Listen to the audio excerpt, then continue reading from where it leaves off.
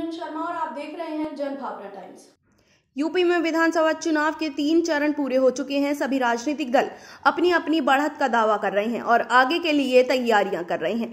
इसी बीच यूपी के मुख्यमंत्री योगी आदित्यनाथ चौथे चरण के मतदान के लिए सोमवार को ताबड़तोड़ जनसभाएँ करेंगे। सीएम योगी सोमवार को हरदोई, रायबरेली और लखनऊ में जनसभा को संबोधित करेंगे। सीएम योगी ने ट्वीट किया, पतित पावनी माँ गंगा जी के। शुभाशीष से अभिचिंतित महान स्वाधीनता संग्राम सेनानी राजा नरपत सिंह समेत अनेक अमर क्रांतियों की कर्मस्थली जनपद हरदोई में आज मुझे आने का सौभाग्य प्राप्त हुआ है। चौथे चरण के तहत 23 फरवरी को मतदान होगा। इनमें नौ जिलों की 60 विधानसभा सीटों पर वोट पड़ेंगे। इस चरण में कुल 624 प्रत्याशी मैदान में हैं। लखनऊ रायबरेली अयोध्या समेत विभिन्न महत्वपूर्ण सीटों पर भी मतदान होगा। लखीमपुर, खीरी में भी इसी चरण में मतदान होगा, जहाँ पिछले साल बवाल हो गया था। उन्होंने कहा, भाजपा की डबल इंजन सरकार ने नागरिकों की सड़क एवं स्वास्थ्य जैसी मूलभूत सुविधाओं हेतु प्राथमिकता से कार्य किया है।